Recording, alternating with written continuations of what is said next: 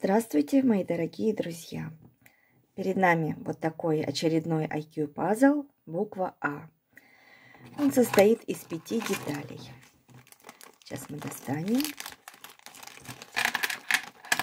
Вот. Пять деталей. Не так все просто, как кажется на первый взгляд. Решение приходит далеко не сразу.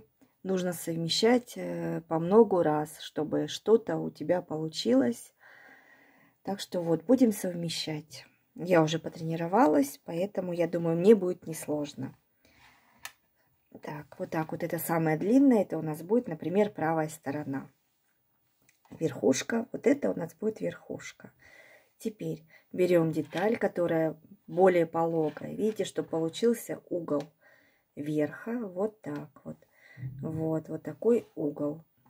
Теперь Сейчас а, будем совмещать либо это, да, кажется, вот это. Вот перегородка получилась. И теперь собираем низ. Вот.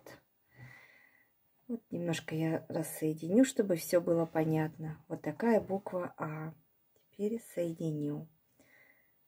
Так, получилось все идеально, как на рисунке. Надо, чтобы было один в один. На мой взгляд, эта фигура средней сложности, бывает намного сложнее. IQ-пазлы.